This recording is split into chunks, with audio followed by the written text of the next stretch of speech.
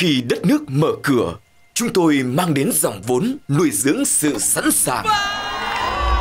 Cùng khắp nơi thắp lên những khát vọng chuyển mình. Khát vọng vượt thời đại, khát vọng vươn thế giới, khát vọng định thành công. Với hơn 30 năm là ngân hàng quốc gia hàng đầu, chúng tôi luôn sẵn sàng cùng bạn tạo nên những di sản, đối tác phát triển bền vững. Vietinbank nâng giá trị cuộc sống. Kính chào quý vị và các bạn.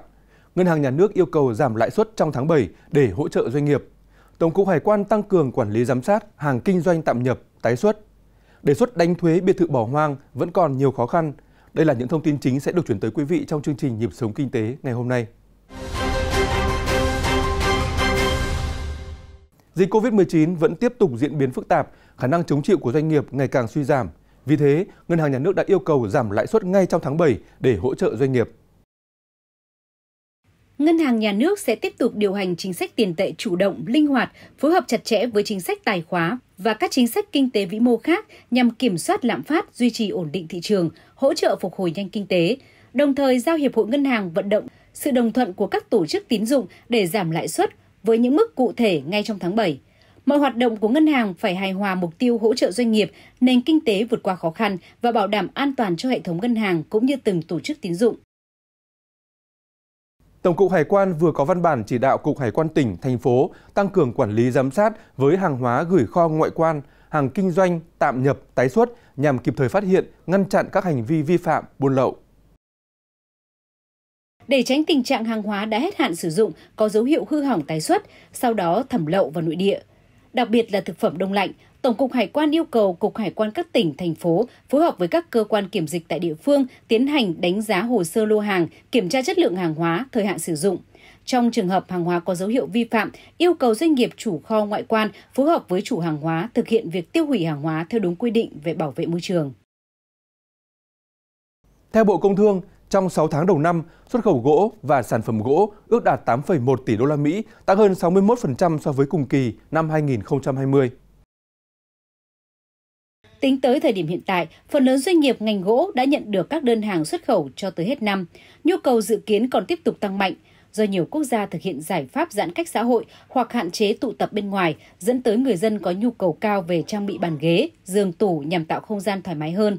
Trong khi đó, đồ nội thất bằng gỗ của Việt Nam rất hấp dẫn với người tiêu dùng nước ngoài bởi giá cả hợp lý, các doanh nghiệp sản xuất tuân thủ truy xuất nguồn gốc, xuất xứ nguyên liệu minh bạch nên được khách hàng lựa chọn. Trên sàn giao dịch Thượng Hải, giá thép vẫn tăng lên mức 5.496 nhân dân tệ một tấn. Tuy nhiên, giá thép xây dựng của nhiều thương hiệu trong nước đã ở mức ổn định 10 ngày liên tiếp. Chốt phiên gần nhất, giá thép giao kỳ hạn tháng 10 trên sàn giao dịch Thượng Hải đã tăng 140 nhân dân tệ một tấn. Mặc dù vậy, theo CNBC, giá thép vẫn có thể giảm trong tháng 7 bởi hai yếu tố chính là Nga sẽ tăng cường xuất khẩu trong thời gian tới và thị trường Trung Quốc, Ấn Độ đang trong giai đoạn điều chỉnh. Tại Việt Nam, tiêu thụ thép đã tăng trưởng tích cực trong những tháng đầu năm do nỗ lực ổn định thị trường, ổn định giá thép. Sản lượng tiêu thụ thép thành phẩm bao gồm thép xây dựng, tôn mạ và ống thép tăng 22% cùng kỳ năm ngoái, trong đó sản lượng tiêu thụ nội địa tăng 11%. Giá cao su tiếp đà giảm giá phiên giao dịch cuối tuần tại sàn châu Á. Sự gián đoạn chuỗi cung ứng đã đẩy ngành cao su vào thế khó. Tại Sở Giao dịch Hàng hóa Tokyo, giá cao su giao kỳ hạn tháng 8 giao dịch giảm ở mức 216,5 yên một kg.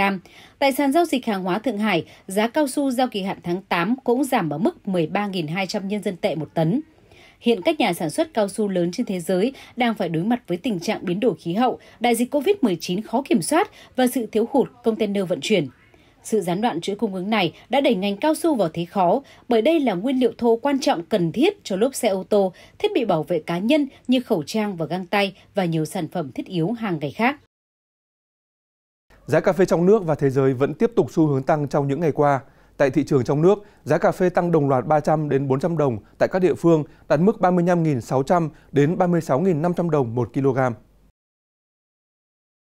Trong nước, các tỉnh miền Nam đang bị dịch COVID-19 bùng phát khiến hoạt động xuất khẩu bị ảnh hưởng. Nhiều nước xuất khẩu cà phê chính khác trên thế giới cũng đang trong tình trạng tương tự. Vì vậy, theo các nhà phân tích, thiếu hàng cục bộ ở các tháng giao gần là nguyên nhân khiến giá cà phê tăng nhanh.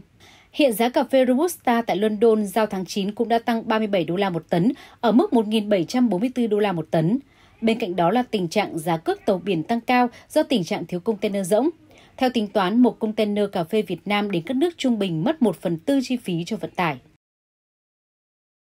Trong tuần qua, giá gạo ở khu vực đồng bằng sông Cửu Long có sự giảm nhẹ. Không chỉ Việt Nam, các vựa lúa gạo hàng đầu của châu Á đều có sự điều chỉnh giảm giá gạo xuất khẩu. Theo Hiệp hội Lương thực Việt Nam, gạo 5% tấm đã giảm bình quân 157 đồng một kg so với tuần trước.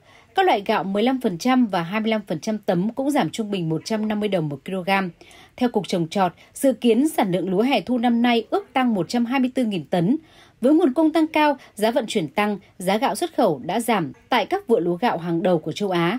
Trong đó, giá gạo Thái Lan chạm mức thấp nhất trong 19 tháng, còn giá gạo Việt Nam giảm xuống mức thấp nhất kể từ tháng 7 năm ngoái, khi giá gạo 5% tấm đạt khoảng 465 đến 470 đô la một tấn. Khoảng 2 tuần nay, thịt lợn hơi đã ở mức rẻ nhất kể từ tháng 11 năm 2019, thời điểm lợn hơi bắt đầu cơn sốt giá.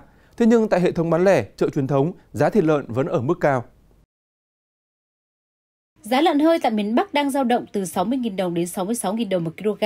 Tại miền Trung, Tây Nguyên là 57.000 đồng đến 66.000 đồng một kg. Tuy nhiên, tại các chợ truyền thống, sườn non vẫn đang ở mức 160.000 đồng một kg, nạc vai 160.000 đồng một kg, tim 250.000 đồng một kg, xương cục 120.000 đồng một kg. Theo các tiểu thương ở chợ, dù giá lợn hơi giảm nhưng thịt lợn xẻ mảnh, móc hàm tại chợ đầu mối vẫn không thấp do phải qua nhiều khâu trung gian, sức mua của người dân tại thời điểm này lại không cao, kéo theo lãi giảm 50 đến 60% nên giá thịt lợn vẫn khó có thể giảm. Mới đây, Hà Nội đề xuất Bộ Tài chính đánh thuế biệt thự bỏ hoang từ 3 tháng trở lên với mức áp thuế dự kiến khoảng 5% trên giá trị hợp đồng. Nếu sau một năm, biệt thự vẫn chưa được đưa vào sử dụng, mức thuế sẽ nâng lên 10%. Đề xuất này được đưa ra khi tình trạng các khu đô thị hoang xuất hiện ngày một nhiều, gây lãng phí nguồn tài nguyên đất, làm mất mỹ quan đô thị. Năm 2011, Bộ Tài chính đã từng đề xuất áp dụng thu thuế theo thời gian bỏ hoang. Tuy nhiên, những đề xuất trên cũng chưa thể thực thi do khó chứng minh biệt thự nào bỏ hoang. Bởi nếu chủ sở hữu không mua bán, xây dựng sai phép mà chỉ chưa hoàn thiện căn nhà thì cũng khó có thể xử lý. Do đó cần làm rõ khái niệm thế nào là bỏ hoang ngay từ đầu. Trong trường hợp khu đô thị bỏ hoang vì hạ tầng yếu kém, không đúng tiến độ, xuất phát do chủ đầu tư hay do quy hoạch thì lúc này trách nhiệm của các chủ thể tham gia cần được phân định rõ ràng, tránh đánh thuế sai đối tượng. Thưa quý vị và các bạn, chương trình Nhịp sống kinh tế phát sóng lúc 20 giờ 25 phút các ngày thứ hai, thứ ba, thứ tư, thứ năm và thứ bảy với những tin tức kinh tế thị trường đáng chú ý trong tuần. Cảm ơn quý vị và các bạn đã quan tâm theo dõi. Xin kính chào tạm biệt và hẹn gặp lại.